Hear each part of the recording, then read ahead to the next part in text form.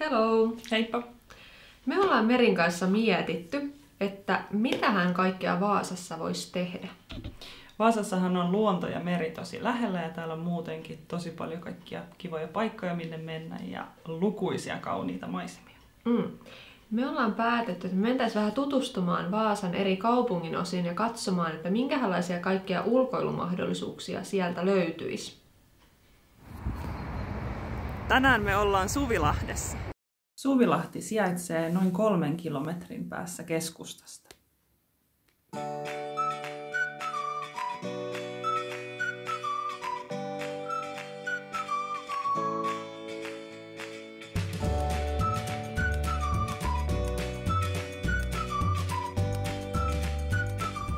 Täällä Suvilahdessa asuntomessualueella on tosi hienot lenkkimahdollisuudet ihan näin meren lähellä. Toi meri näkyy. Niin.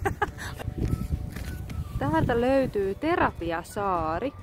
Me luettiin Merin kanssa, että tämä on suunniteltu aistipuutarhaksi. Täällä meriveden tuoksut ja äänet antaa tälle paikalle ihan oman fiiliksensä.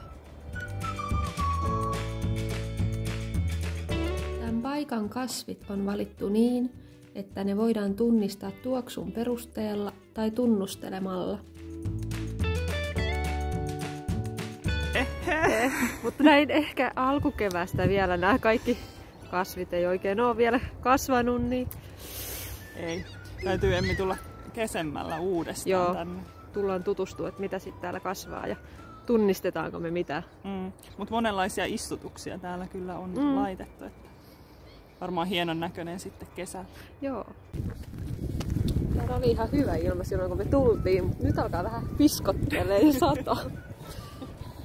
Mukavan keväistä.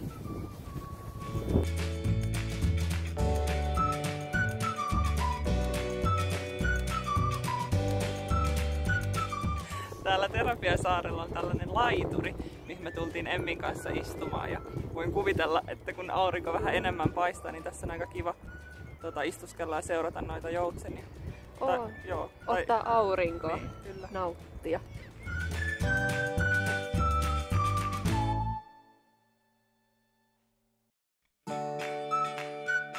Nyt on tärkeää lähteä ulkoilemaan. Liikunnalla ja ulkoilulla on todettu olevan paljon positiivisia vaikutuksia hyvinvointiin. Kyllä. Erityisesti näin poikkeustilanteen aikana on hyvä lähteä sieltä sisältä ulos liikkumaan ja nauttimaan luonnosta. Mm. Tämän seuraavan saaren nimi on Lammassaaren puisto.